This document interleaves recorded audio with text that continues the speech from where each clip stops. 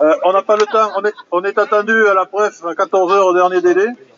Euh, on vous fera un compte rendu à, à la fin euh, de la réunion à la presse. Voilà. Euh, à la demande de certains, euh, les viticulteurs ont demandé d'être devant pour euh, être euh, devant le cortège pour la préfecture. Alors si vous voulez être devant, passez devant. Euh, Ceux qui l'ont demandé, voilà, il n'y a pas de problème. Euh, on a eu une bonne discussion avec Monsieur le Président de la région, on vous racontera tout à l'heure. Certains seront mécontents, mais euh, on a non, je, on n'a pas le temps honnêtement. On n'a pas le temps, on est attendu.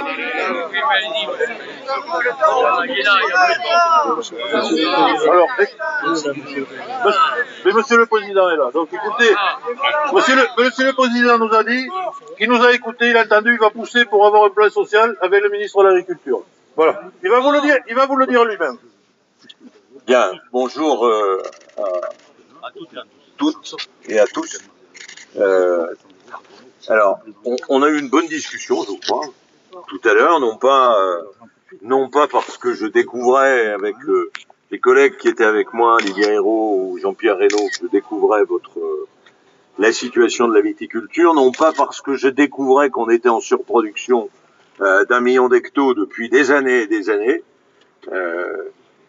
Voilà, donc ça, euh, on est d'accord. Non pas parce que je découvrais qu'il fallait un plan social et qu'il fallait euh, euh, arracher une partie, même si c'est une souffrance que je comprends bien.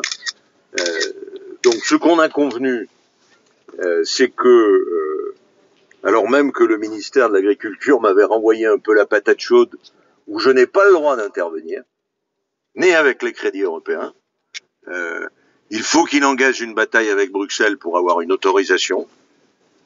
Et il faut qu'il y ait un vrai plan social qui soit, euh, qui soit financé. euh, Là-dessus, nous, on n'a pas le droit d'intervenir, mais on interviendra sur. Oh, oh, oh, laissez finir, s'il vous plaît.